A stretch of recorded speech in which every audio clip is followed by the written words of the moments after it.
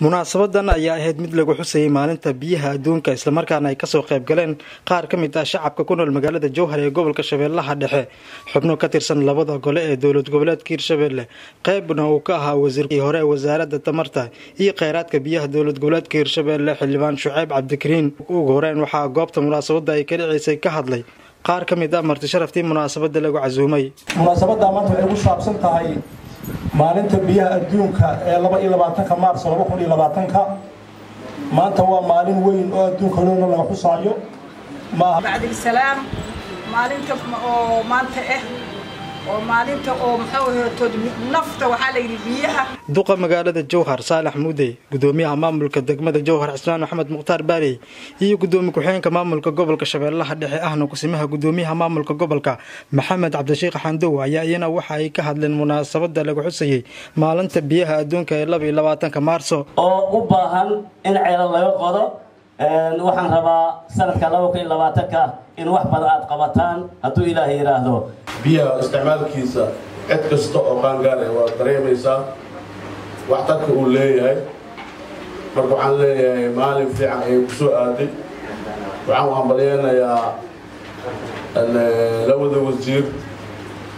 Bacdisalaam waxaa aad iyo aada ugu faraxsannahay maanta inaan ka soo qayb galno xafladda aadkii aadka u qiimaha badan ay soo qabanqaabiyeen wasiirkii hore ee wasaaradda iyo wasiirka cusub ayagoo si wada jira u soo wada qabanqaabiyey waxaana aada ugu mahadcelinayaa dhammaan ka soo qaybgalayaasha qiimaha badan leh.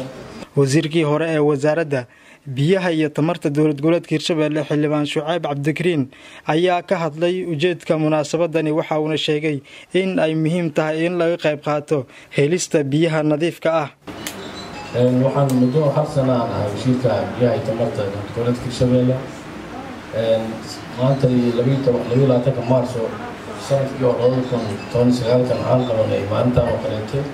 Waxyaabo aan ballan qaadnay maalintaas amaba wasiirkii igu horsii horeeyey oo u diyaarsanaay dee umoodaana sanadka hor qabanin waa sidaan kaga mahadcelinayo waxaan rajeynayaa wasiirka cusub in meeshii la keen wasaaradda ka sii qaadi doono. Meeshin wax culeysaan ku dareeman do-aalidmo in ilaahi fiican la fuday ninkan la shaqaysan uma ambaleysan aan ka codsanay marka taa kadib wasaaraddu waxyaabaha ay qabatay waxaa ka mid ah. Ayadoo hadda u jiro do-aalidma sanadkan labada kun labaatanka la bilaabi doono. Dayactirka biyo xereeno dhowr ah oo tii beledweyne ah wasiirka cusub ee wasaaradda tamarta iyo kheyraadka biyaha dowlad goboleedka hirshabelle saalax xasan ayaa waxa uu sheegay in maamulka hirshabelle uu ku dadaali doono sidii deegaanada hirshabelle loo gaarsiin lahaa biyo nadiifa intaa kadib maanta waa maalin weyn maarso waa maalinta biyaha adduunka saan la soconno biyaha nolosha aadanaha wax ku xiran ugu koreeyo wajacalnaa min almaai kulla shayin xayan afalaa yuuminuun qur'aankeena lagu sheegay.